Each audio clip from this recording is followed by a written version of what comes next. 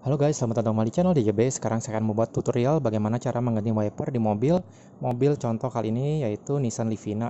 Kita langsung saja cek wiper yang bakal diganti.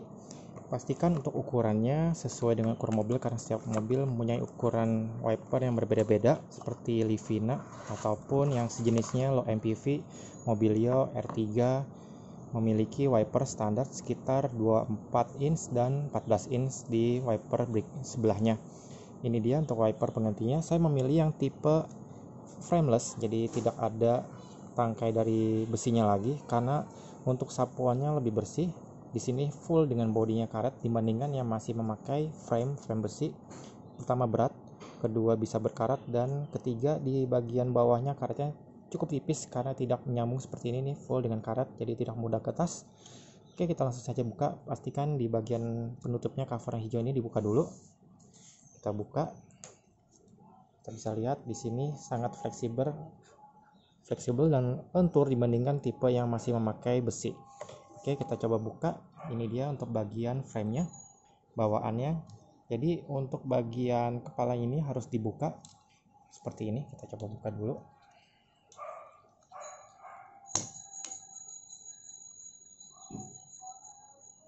Memang cukup sulit bagian locknya namun memang harus dibuat keras karena wiper akan bergerak dengan cepat apalagi sapuan air.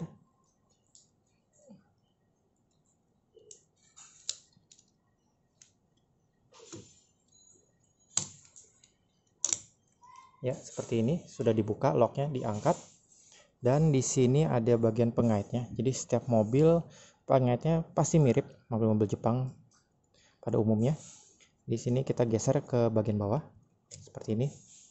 Ya kita tarik keluar dan diganti dengan tadi yang tipe baru. Saya memilih yang tipe yang lebih besar daripada umumnya. Ini yang 16 inch. Di sini juga bisa dibuka dulu pengaitnya.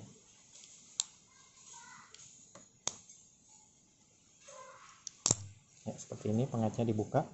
Di sini pastikan posisi kita benarkan dulu posisi pas masuk di sebelah atas seperti ini. Kita masukkan ke bagian pengait besinya. Jadi di posisi kebuka dimasukkan. Dan ini didorong ke bawah seperti ini. Dan tutup sampai terdengar bunyi ke oke. Dan sudah terpasang. Nanti saya akan membuat videonya saat dipakaikan di sorry maksudnya disiram air pakai siram air wiper seperti apa sapuannya. Sebentar ya kita coba lihat di video berikutnya.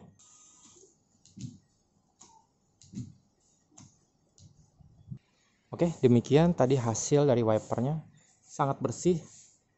Hampir tidak ada yang tersisa. Di sini bagiannya tidak kena wiper dan yang terkena wiper. Hampir tidak ada bagian yang tersisa. Jadi untuk wiper tipe yang frameless ini sangat bagus. Untuk link deskripsi dan link jualannya bisa cek di link deskripsi di bagian bawah. Oke teman-teman selalu bantu channel ini dan klik tombol like, tombol subscribe, klik tombol lonceng untuk notifikasi berikutnya. Terima kasih telah menonton.